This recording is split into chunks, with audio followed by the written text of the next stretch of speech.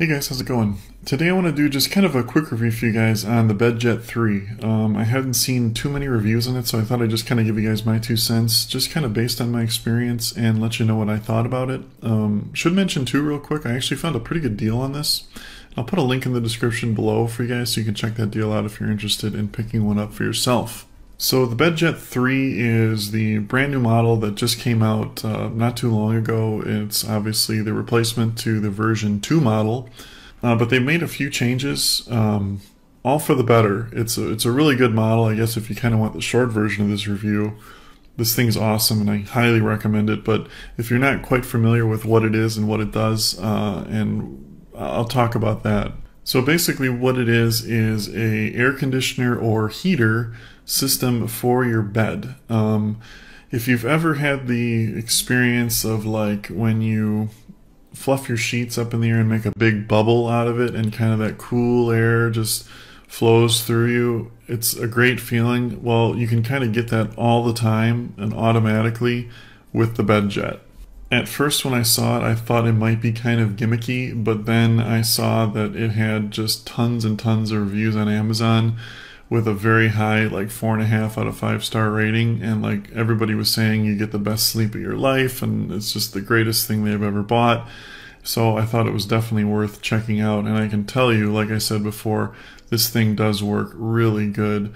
Uh, and it's a great thing to have if you live in a cold climate, the heat is just the greatest feeling to have a nice warm air blow through your bed on a cold uh, winter day. And if you live in a hot climate, or uh, like in my case, I have cold winters and hot summers, to have that cool air conditioning on a hot summer day is just as nice. But I tell you, the nice thing about the BedJet 3 is they fixed a lot of, I wouldn't say issues they had with the 2, but they've made it a lot better. For one, it's 30% smaller, so it's not such a big thing laying in your room. Uh, it kind of goes at the end of your bed, and there's like this tube that comes up and connects uh, to, you can use it with normal sheets, but you can buy uh, their own sheets. They have these dual zone sheets now. Um, if you want to buy two bed jets, you can get one for you and one for your partner,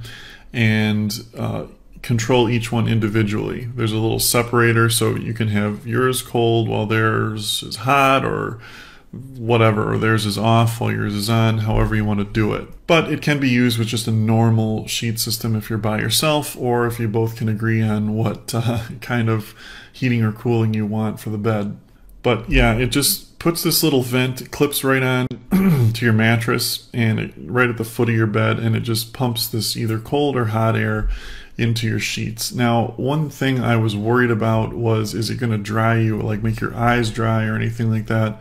Um, I found that not to be the case whatsoever. For one, um, you, you don't have to turn it, you can turn this up so it blows very quickly, but what most people do, including myself, is just use it on a, it just puts out a very small amount of air. So it, you really don't even notice the air, you don't feel the air. All you feel is cool or hot, whatever, depending on what you're trying to accomplish.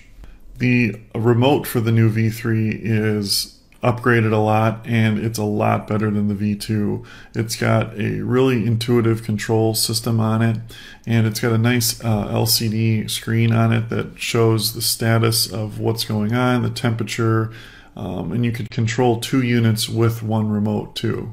It does have memory functions in it too, so you, once you get it set exactly how you like it, um, you can just hit the memory button and save your preferences.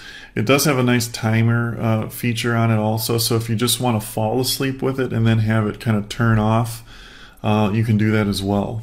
But I'll tell you, if you want the best sleep of your life, this thing has really provided it. I highly recommend it. I think it's awesome, and it's really a game changer. It's kind of one of those things that like you you don't know how you lived without before you bought it, if you know what I mean. Uh, anyway, yeah, like I said, highly recommended.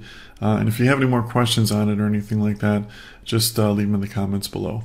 Thanks for watching, guys, and have a great day.